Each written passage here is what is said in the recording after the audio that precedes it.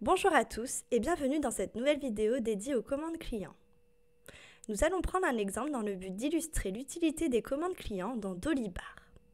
Imaginons que Delphine nous rappelle, elle a de nouveau besoin de nos services pour la même durée. Si cela n'avait pas été le cas, il aurait fallu lui refaire un devis puisque nous n'avions pas créé de produit lors de notre dernier devis. Par conséquent, notre prix n'est pas attribué à une journée de prestation de service. Nous recherchons notre devis et nous cliquons sur Créer commande. Nous arrivons sur le brouillon de la commande. Nous connaissons tous les champs, nous allons donc saisir le nécessaire rapidement, soit la date de livraison. Disons que Delphine a besoin de nos services le 30 novembre 2021. Et nous cliquons sur Créer brouillon.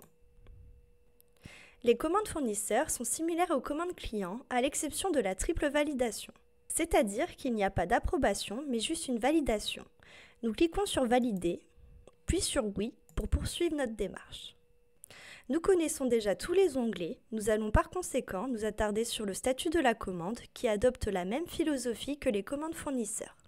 Nous effectuons un bond dans le temps pour arriver après la livraison de notre prestation. Nous cliquons donc sur Classer livré.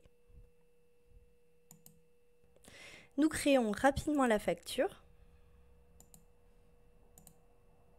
Puis, nous revenons dans la commande en cliquant sur la référence de celle-ci dans la partie Objet lié ici. Et enfin, nous cliquons sur Classer facturé.